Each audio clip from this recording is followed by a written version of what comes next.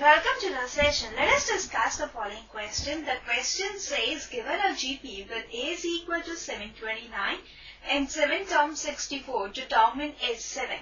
Let's now begin with the solution.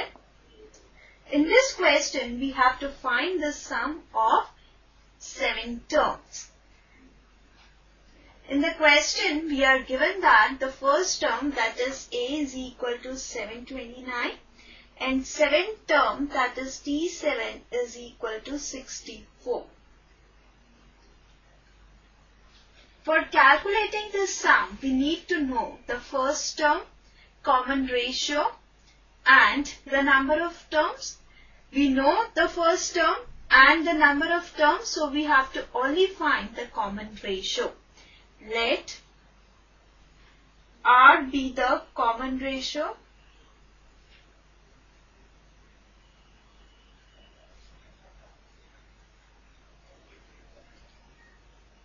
Now T7 is equal to 64.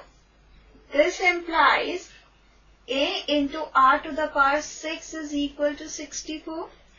A is equal to 729. It is given to us.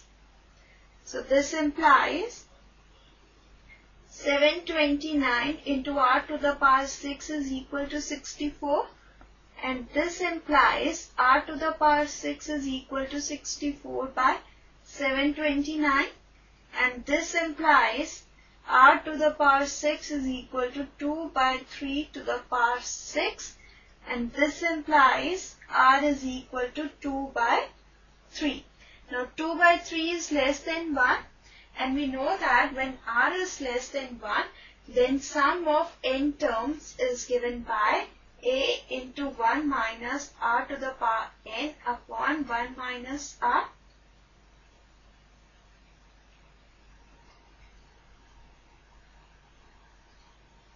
Now we know the value of r so we can now easily find the sum of 7 terms.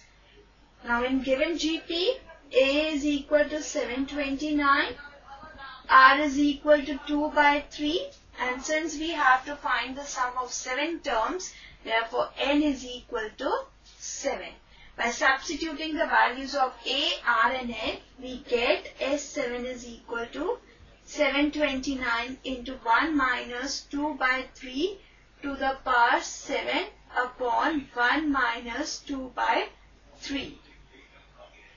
Now this is equal to 729 into 3 to the power 7 minus 2 to the power 7 upon 3 to the power 7 upon 1 by 3 and this is equal to 729 into 3 to the power 7 minus 2 to the power 7 upon 3 to the power 7 into 3.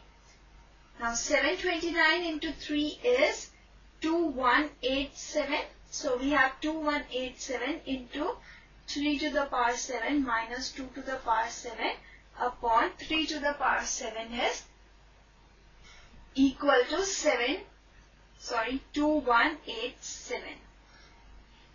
So this is equal to 3 to the power 7 minus 2 to the power 7.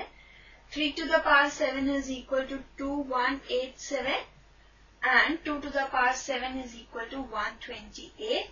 On subtracting 128 from 2187, we get 2059. Hence, the required sum of 7 terms is 2059. This is our required answer. So, this completes the session. Bye and take care.